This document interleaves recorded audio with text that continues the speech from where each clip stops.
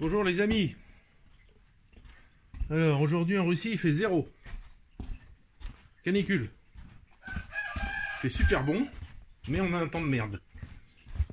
Il flotte. Il tombe de la dinature. Il tombe de la, de la neige en fait, mais, mais chargée d'eau. Donc ça tombe euh, dru quoi. C'est pas la neige qui tombe euh, doucement, jolie. Non là c'est plutôt un peu dégueulasse. Donc vous voyez, chaque jour quand je vous montre, là ça a encore déneigé. Zéro, c'est normal. hein. Là il y a l'eau qui coule du toit là. On l'entend derrière moi. Donc voilà. Donc pensez à vous abonner, pensez à mettre le pouce. euh, Je répète ça mais je sais même pas quoi ça sert trop. Mais bon. Euh, par contre, ce que je sais qui sert beaucoup, c'est euh, euh, l'aide euh, pour les femmes et les mères des soldats. Euh, J'avais reçu il y a quelque temps une énorme boîte d'un d'entre vous, d'une d'entre vous, qui m'avait envoyé de la laine qui était depuis 35 ans dans son grenier. Et hier, j'ai remis cette laine à la responsable du groupe des femmes et des mères de soldats. Enfin, c'est pas moi qui l'ai fait, c'est Elena. J'ai mis les photos sur Telegram. Et elle était choquée, parce qu'en Russie, c'est pas comme ça elle été choquée que cette laine ait 35 ans et qu'elle soit pas bouffée au mythe. Et quand on regarde bien, en fait, sur les, laines, sur les, pelotes de laine, c'est écrit euh, traité anti-mythe. Donc elle était euh, choquée qu'on ait ça en France. Elle trouvait ça génial. Elle était super contente. Euh, parce que en Russie, euh, ce qu'on appelle les mythes, ça s'appelle mol. Et mol, c'est un, c'est un problème. Parce que ça bouffe tout. Donc voilà. Euh, donc n'hésitez pas à envoyer quelque chose pour, que je commence à, savoir ce que je vais pouvoir leur donner au mois de mois d'avril. Euh, le projet concernant le prêtre qui est au Donbass, euh, ça suit son cours. Il prend sa place en ce moment. Il, s'est installé. il ça fait, va faire deux jours maintenant. Bon, je l'embête pas. Je lui écrirai dans quelques temps. Euh, bon, il est partant. euh, euh, tout, est ok. donc bon, voilà. Si vous voulez participer à ça, n'envoyez rien pour l'instant, pas d'argent, mais par contre vous pouvez m'écrire pour que je vous rajoute au groupe spécial privé qui a été créé pour cette occasion, pour que les gens qui participent à cette aide aux gens du Donbass. Et il n'y a que sur ce groupe privé fermé où il y aura les photos qu'il m'enverra, les vidéos qu'il m'enverra. Évidemment, s'il a le temps, mais j'espère que oui, parce que c'est ce que je lui ai expliqué. Je lui ai dit, euh, pour être honnête avec vous, je lui ai dit, bon, bah, les gens, ils donnent, euh, ils donnent, ils font des dons, etc. Mais il faut euh, quand même... il faut quand même leur rendre, quoi. Il faut quand même faire des vidéos, des trucs pour leur montrer ce que tu fais. Il dit, oui, oui, je comprends, je comprends. Donc, bon. Donc, voilà. Alors, toujours en attente des pitios. Voilà. Normalement, elle devrait être allongée par terre, en train d'allaiter, là, attendre à accoucher. Elle est debout, elle se promène, elle veut des caresses. Tout va bien. Voilà, le petit chat qui est avec elle. Elle lui fout pas des coups de tête, donc ça va. Elle doit pas avoir trop l'énergie trop pour ça.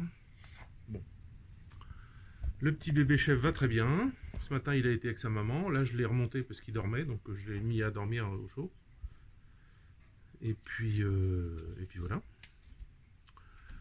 Alors, de quoi je voulais euh, vous parler aujourd'hui de quoi? D'un sujet assez, amusant en fait. Je voulais vous parler de la manière, la manière, l'éventuelle manière de vaincre la Russie. Pour euh, votre euh, guide suprême, votre grand timonier Macronescu, il paraît que c'est comme ça qu'on l'appelle maintenant. Alors, bon déjà, euh, on va commencer, euh, pour être clair, c'est impossible. Euh, les armes, vous avez pu le voir dans le monde, en Palestine, dans n'importe quel pays en guerre, tout ça, en Vietnam, tout ça, ça ne, ça ne tue pas tout le monde, ça ne réduit pas tout le monde à néant, ça ne, ça ne change pas les mentalités des gens. Qu'est-ce qui se passe?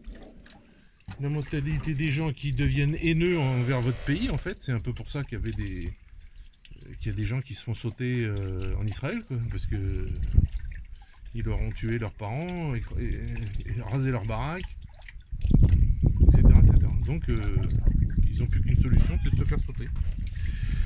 Bon, à la rigueur, euh, si on voit ça de plus haut, on peut comprendre la réaction de ces gens c'est pas bien, il faut pas, c'est moche, c'est horrible, surtout pour les pauvres qui vont mourir dans ces actes terroristes. Mais, mais d'un autre côté, il faut comprendre que si, vous si on vous tue vos parents, vos gosses, euh, votre famille, on vous rase votre baraque, on vous vole votre terrain, euh, bon, qu'est-ce que vous voulez qu'ils fassent D'autres Il leur laisse pas le choix. Donc euh, voilà, donc comment vaincre les Russes? Bah c'est pas possible, voilà. Voilà, vidéo terminée. non, je rigole. Euh, pas... Alors pourquoi c'est pas possible en fait? Je vais comparer, pour ceux qui connaissent un peu l'histoire, les Russes d'aujourd'hui aux soldats de l'armée napoléonienne euh, du début 19e siècle. Euh, pourquoi? C'est ma réflexion pourquoi les soldats napoléoniens gagnaient toutes les guerres? Bon, parce que Napoléon, parce que la stratégie, parce que tout ce que vous voulez. Mais il y avait quand même les types sur champ de bataille qui se battaient quand même. Pourquoi ils, pourquoi ils gagnaient? Parce que les mecs, ils avaient la niaque. Euh, pour eux, la révolution, c'était quelque chose d'extraordinaire. Pour eux, la révolution, c'était une liberté fantastique. Euh, pour eux, euh, l'armée leur donnait un salaire alors qu'ils n'en avaient jamais eu avant. Ils étaient limite à moitié esclaves. Ça, déjà, c'est un point. Euh, deuxième, et les Russes, c'est pareil. Les Russes, c'est la même chose. Ils sont patriotes, ils aiment leur pays, ils, se défendront bec et ongle contre les nazis, contre les Ukrainiens, parce que les, gens du Donbass, c'est des Russes, hein. euh, contre, tous ceux qui viendront les faire chier.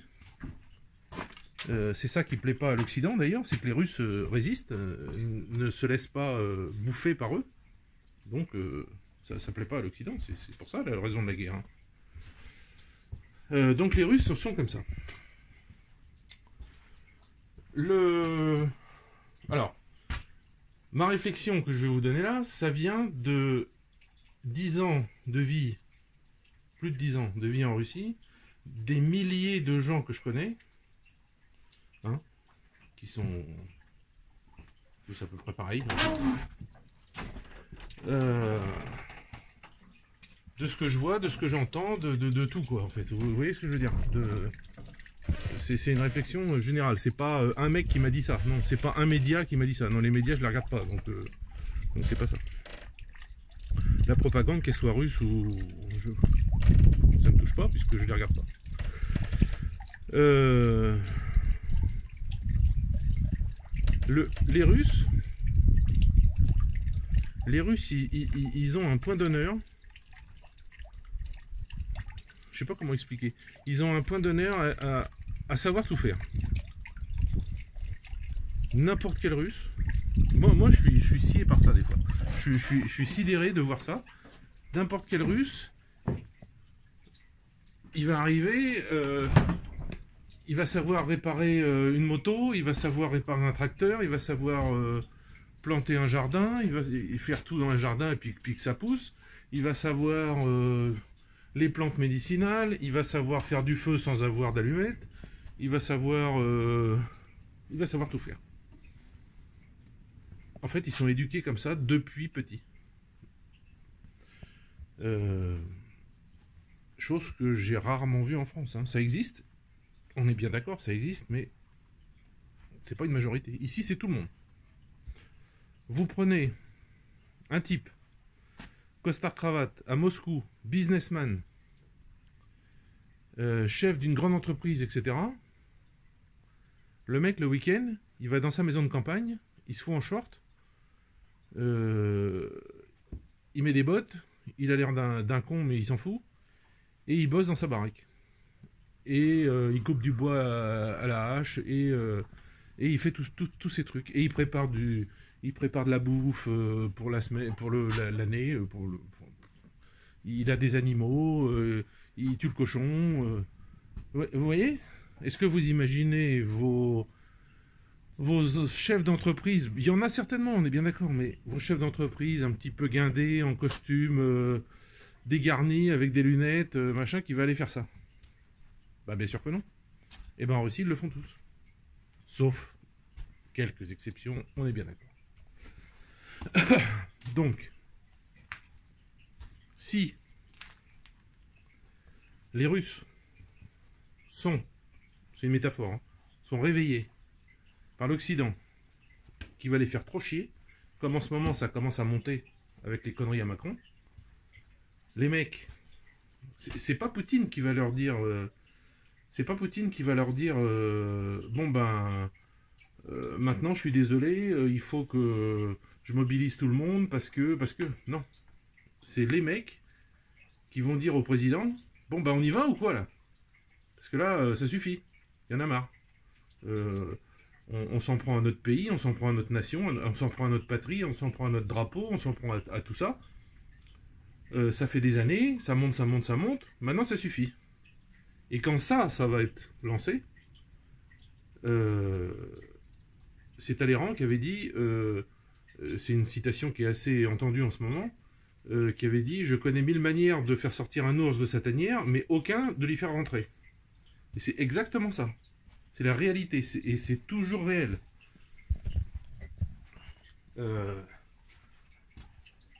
et croyez-moi, quand les Russes ils sont en colère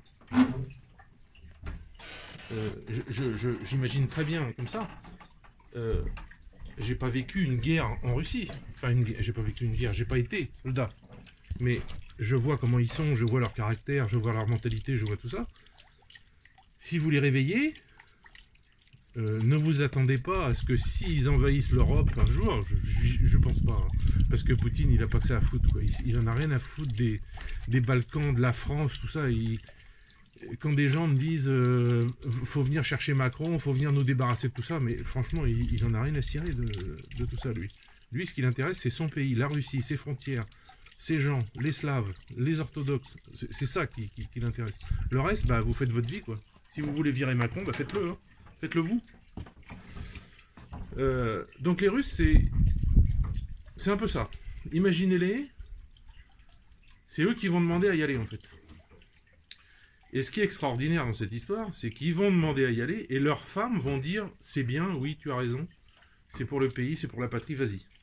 Elles savent qu'il peut mourir, elles savent, elles savent tout, mais ça, c'est plus important que tout le reste. Donc comment voulez-vous vaincre un peuple qui est comme ça? C'est impossible. Impossible. Euh, pour moi, c'est le, le, peuple avec le plus fort caractère et le plus d'amour de son pays que j'ai jamais vu. Peut-être le Japon aussi. Le Japon est, comme ça. Euh, c'est pas pareil. Mais, la Russie, c'est très très fort. Euh, J'en ai parlé justement hier de ça. Euh, vous pouvez avoir des oligarques, des bandits, des criminels, des, des, des hommes politiques véreux, des, tout ce que vous voulez, qui piquent du pognon, qui font plein de saloperies, si un jour c'est le moment qu'ils défendent leur pays, ils vont laisser tomber toutes leurs affaires, ou alors ils vont utiliser leurs affaires pour aider le pays, et ils vont tous aller dans le même sens. Ça, je vous assure, je ne veux pas faire peur à personne, je veux pas, je vous jure que c'est ce que je vous dis, c'est exactement ce qui se passera. Euh, il y aura des gens qui seront horrifiés par la guerre, c'est sûr. Il y en a, j'en connais, même aujourd'hui, qui disent euh, c'est pas ce qu'on nous dit à la télé, c'est horrible et tout ça. Je leur dis rien, mais moi je le sais puisque la guerre j'y étais. Euh,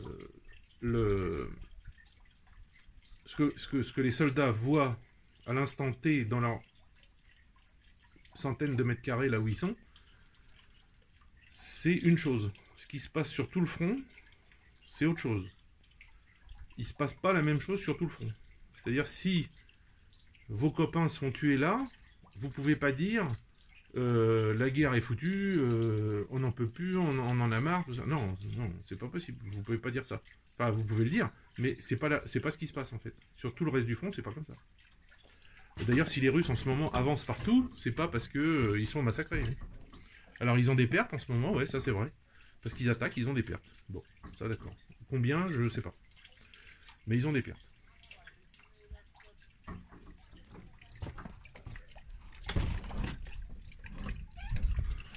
Voilà.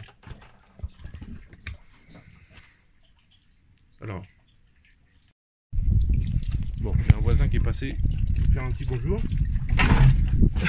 me dire qu'il avait été cherché à 50 km d'ici. Euh, il avait une bouteille de 5 litres d'eau et il a été chercher de l'eau sainte dans, une fontaine à 50 bornes d'ici. Euh, donc voilà, je vous disais que pour bah voilà les Russes, donc euh, chose supplémentaire. hein. Et ça, vous êtes en plein dedans. Un pays qui n'a plus de religion, c'est un pays qui est mort. La Russie est très religieuse. L'orthodoxie ici, c'est hyper présent. L'islam aussi. Il y a des régions où c'est euh, c'est l'islam qui vit complètement en harmonie avec l'orthodoxie. Et, les juifs aussi. Euh, alors il y a une région qui avait été créée par Staline qui s'appelle, euh, je sais plus comment, mais c'est une région pour les juifs. Mais le problème c'est que c'est loin à l'est, c'est au milieu de rien, et en fait les juifs à l'époque, bah, ils sont pas partis là-bas. Ils ont été en Israël, tout ça, mais il y en a quelques-uns qui ont été là-bas parce qu'on leur a donné des terres. Bon, oui, il y a des c'est- une république juive, oui. Mais euh, on n'en entend pas parler. Enfin, je veux dire, c'est pas. C'est pas très habité, on va dire. Staline, il, il leur a donné un coin, mais bon, c'est pas terrible. Donc voilà, donc vous avez des gens qui savent vivre dans la nature, euh, qui.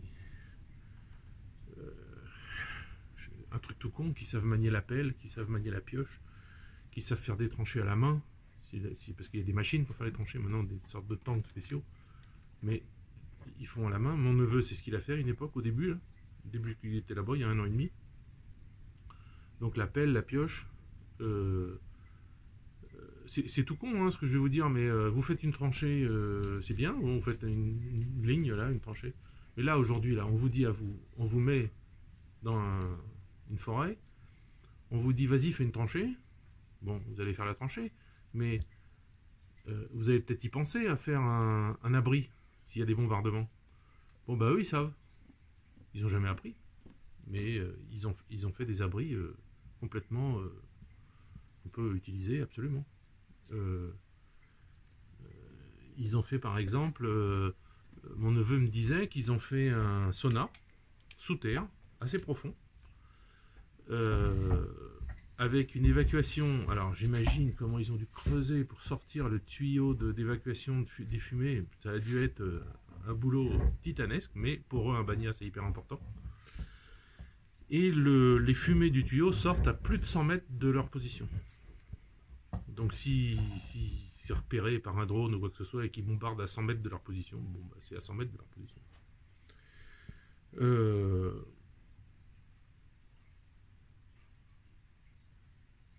Alors, un truc que je leur dis tout le temps aux Russes, c'est une blague en fait, parce que je sais quand c'est faux. Enfin, je sais que c'est faux. C'est pas exactement faux, mais je sais qu'ils réagiraient euh, hyper rapidement. Mais je leur dis toujours que si les Américains voulaient attaquer la Russie et vaincre la Russie, il faudrait qu'ils le fassent entre le 1er et le 10 janvier. Pas avant, pas après. Parce qu'en Russie, entre le 1er et le 10 janvier, tout le monde est en congé. Tout le monde part à la dacha, ou tout le monde part chez la grand-mère ou chez la maman à la campagne, ou dans les villages, ça, pour faire le jour de l'an, pour faire Noël. Et tous les mecs, ils retrouvent leurs copains d'enfance, leurs copains d'école, machin, ils en ont euh, 3 grammes dans la gueule, ils sont tous fumés pendant 10 jours, quoi.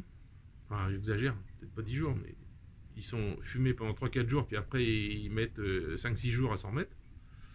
Après, ils sont malades, après euh, ils boivent de l'eau de l'eau gazeuse, euh, ou alors de la, spécialité au Tatarstan, c'est euh, le lait de, le lait de, de- jument avec de l'eau gazeuse. Voilà, ils vendent des bouteilles comme ça. Alors j'en ai acheté une fois, j'ai goûté, c'est infect. Mais il paraît que quand on est bourré, le lendemain matin, le lendemain matin on boit ça et ça va mieux. Bon, j'ai jamais essayé. Donc voilà, donc c'est la période où, euh, où les Américains devraient euh, attaquer. C'est ce que je leur dis tout le temps. Comme je leur dis toujours une autre chose, euh, si un jour, en une demi-seconde, toutes les femmes disparaissent de Russie, disparaissent de Russie, en une demi-seconde, il n'y en a plus, pouf, il n'y a plus de femmes. la Russie, ça durera 15 jours. Voilà les mecs, il n'y aura plus de femmes, ils, ah, génial, ça va être la fête, ils vont faire la bringue, ils vont faire la bringue une fois, deux fois, puis après, bon, bah, ils vont être malades, et puis, euh, et puis voilà, et puis euh, il n'y aura personne pour leur faire à bouffer, il n'y aura personne pour euh, s'occuper des gosses, s'il y en a, il n'y aura personne, enfin, ça sera la cata. Donc ça me fait rire de leur dire ça à chaque fois, et, et alors les mecs, ils disent, mais non, mais non, et les femmes, elles disent, mais oui, mais oui. Voilà. Donc, moi, c'est ça qui me...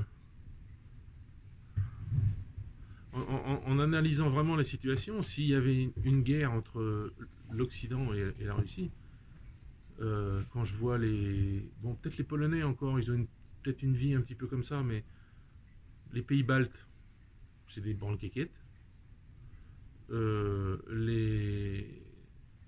les Allemands, les Français, les Espagnols, les Portugais, les Italiens, c'est un petit peu tout pareil.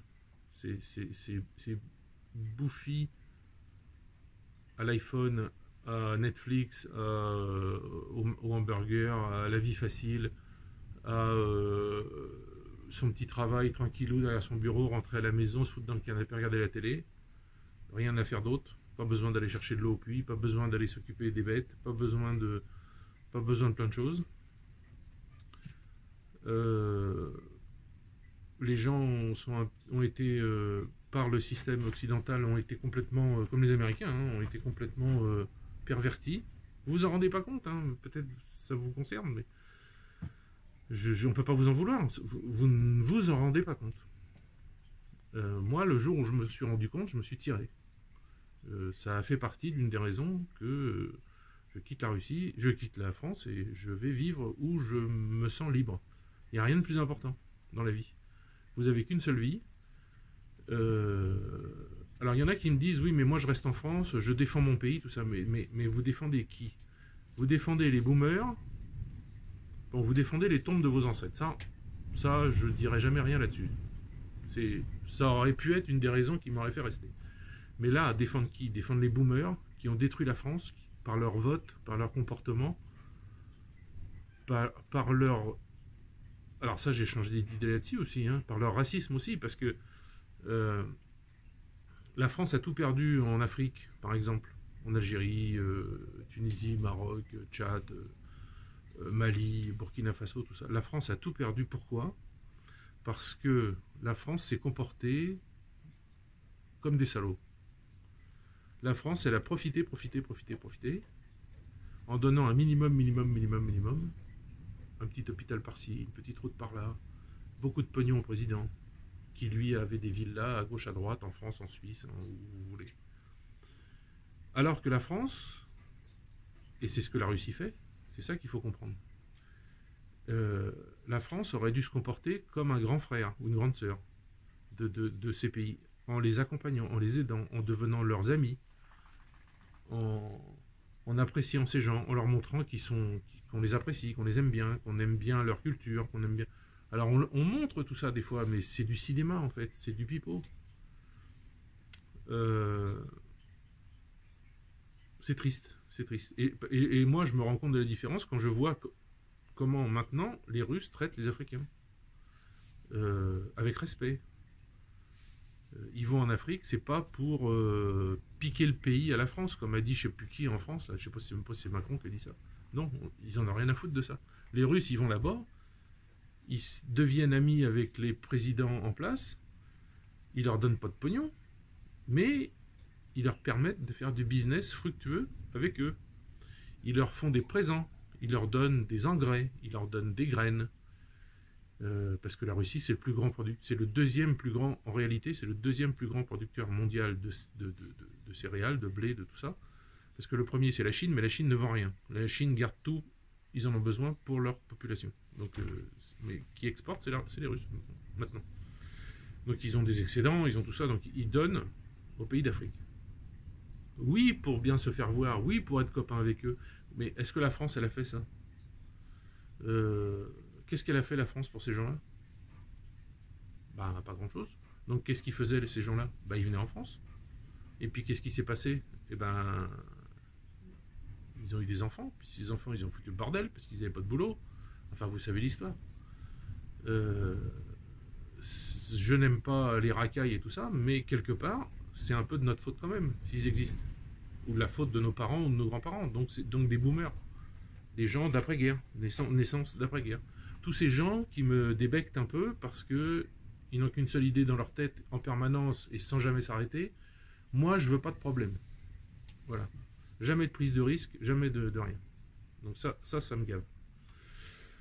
Bon, là, je suis parti à parler des Français, mais je vous parler des Russes. Donc les Russes, vous avez ça. Donc vous avez une autre chose aussi qui est importante, c'est que n'importe quel homme qui va aller à la guerre, il va être soutenu par sa femme, ses enfants, sa mère, sa grand-mère, son tout le monde. Tout le monde va être là pour lui. Tout le monde va être là pour lui quand il va revenir.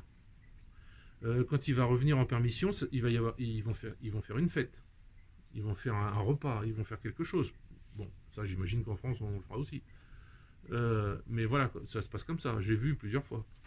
Euh, quand ils rentrent, définitivement, ils sont, il n'y a pas de soutien euh, psychologique ou ça parce qu'ils en ont pas besoin. Comme moi, j'ai j'ai jamais trop compris pourquoi les Américains ils font des dépressions à chaque fois. Peut-être parce qu'ils font trop de saloperies alors, et puis du coup ils font des dépressions. Mais bon, comme nous dans l'armée française ou dans la police, j'ai jamais fait trop de saloperies. Euh, j'ai vu des trucs horribles, oui, plein de fois, j'ai fait des choses, mais euh, ça m'a jamais empêché de dormir. Euh, les Russes, c'est un peu ça. Euh, c'est comme ça. Ils, vivent avec. Euh, alors vous savez, je vous en ai déjà parlé, tous ceux qui sont par exemple des Saint-Niki, c'est-à-dire parachutistes, ils se retrouvent tous les ans ou plusieurs fois par an pour la Saint-Ilia, c'est l'équivalent de la Saint-Michel, le jour des parachutistes, qui est en Russie aussi, le jour, le jour des hommes, le 23 février, euh, enfin bon, toute, occasion est bonne pour faire la bringue, hein, vous savez, ici, euh, souvent comme ça. Euh, et en fait, ils sont assez solidaires. ils voient, alors c'est ça qui est important, que moi je n'ai jamais eu quand j'étais soldat, quand je suis revenu, ou même flic, ou tout ça. ici, ils voient que l'État est avec eux. C'est-à-dire que jamais, jamais, jamais, jamais, vous n'entendrez un espèce de gauchiste débile à, la télévision qui va dire que l'armée française a fait, euh, enfin l'armée russe plutôt, a fait des exactions, a fait ci, a fait ça. Non, jamais.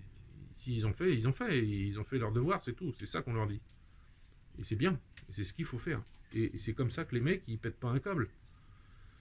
Euh, parce que le plus important quand la guerre est finie, c'est eux quand même. C'est eux qui, doivent être euh, soutenus. Voilà, donc les Russes, impossible de les vaincre. Euh, impossible de les impossible de les faire plier. Euh, s'ils sont lancés, ils s'arrêtent pas.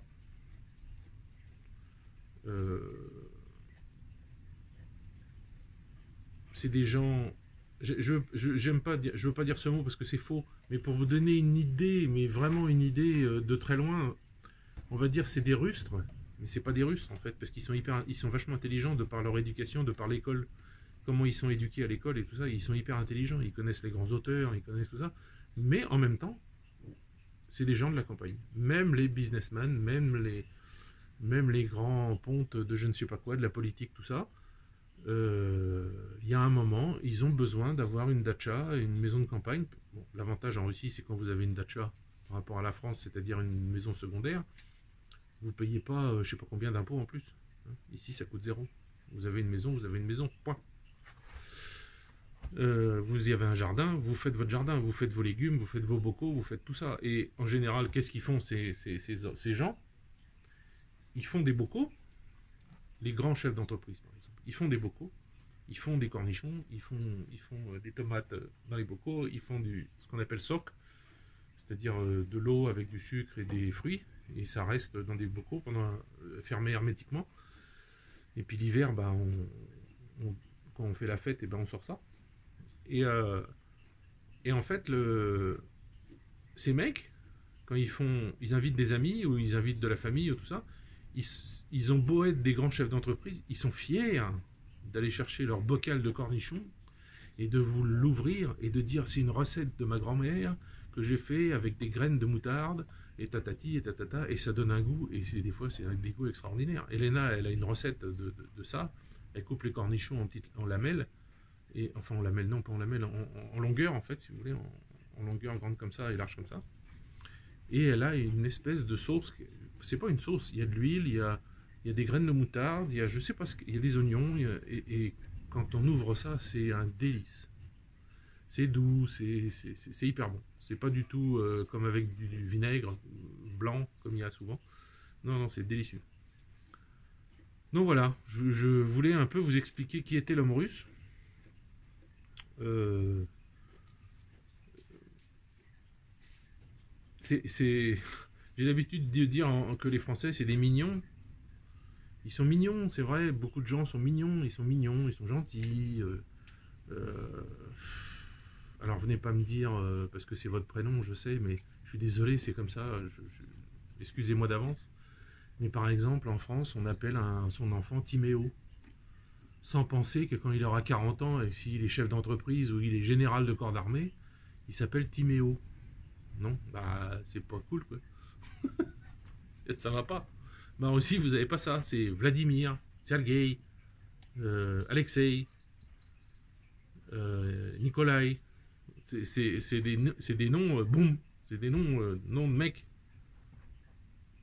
Voilà, c'est comme ça. Bon, désolé s'il y a des Timéo. Je sais qu'il y en a un. J'ai vu qu'il y en avait un sur le groupe Telegram. S'il m'entend, désolé.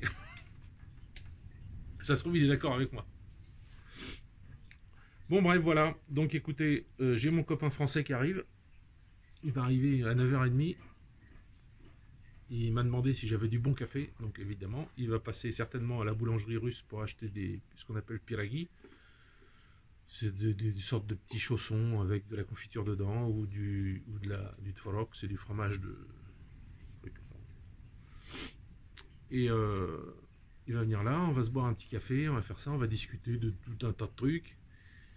Euh, on va discuter certainement euh, de notre changement de permis de conduire, parce que j'ai appris, figurez-vous, et ça, cette information est peut-être bonne pour ceux qui m'écoutent, s'ils vivent en Russie.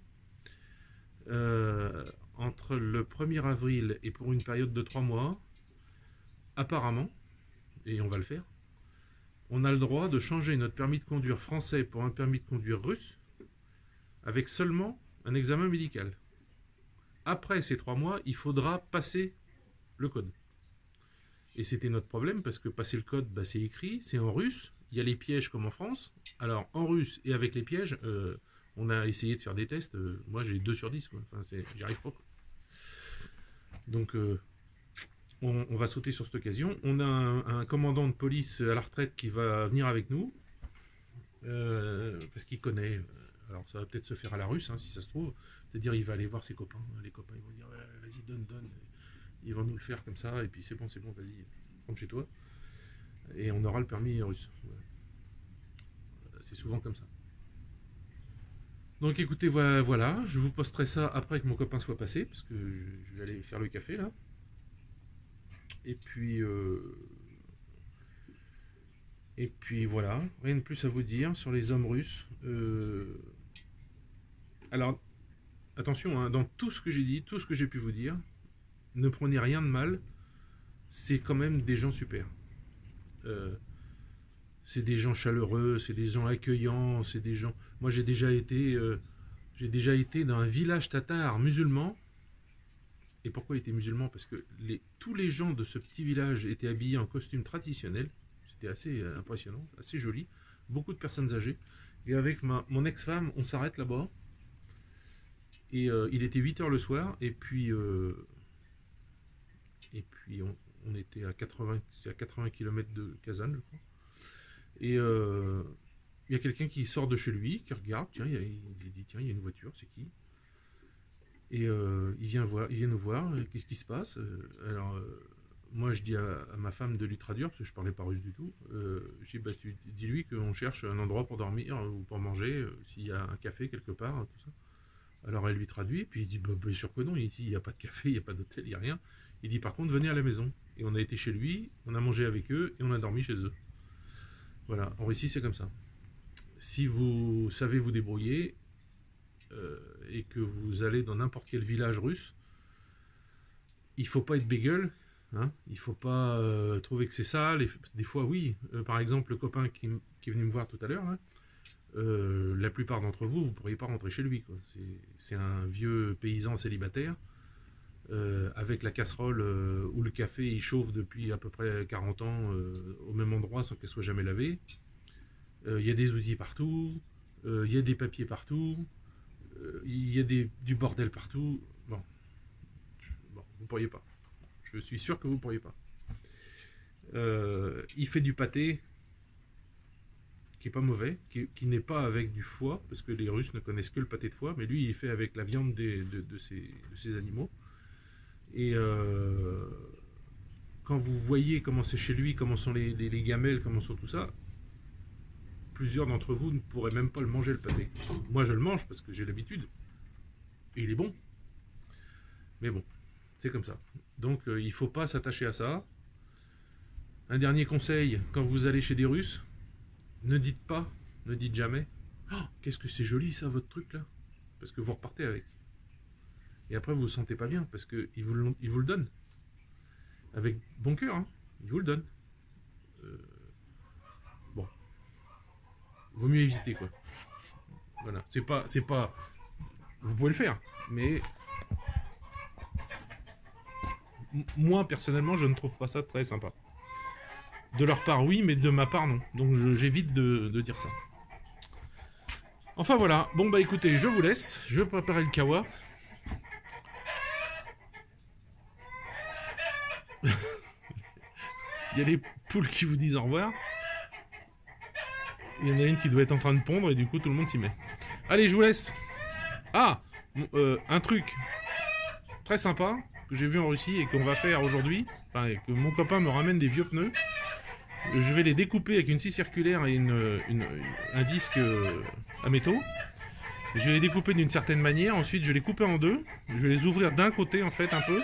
Je vais les couper en deux et je vais visser ça sur les murs du poulailler. Ce qui fait que ça va faire des pondoirs. Impeccable. J'ai vu des Russes qui avaient fait ça et c'est super. Voilà, je crois que c'est pour ça qu'il vient en fait. Il vient m'apporter des pneus. Allez, je vous laisse. À plus.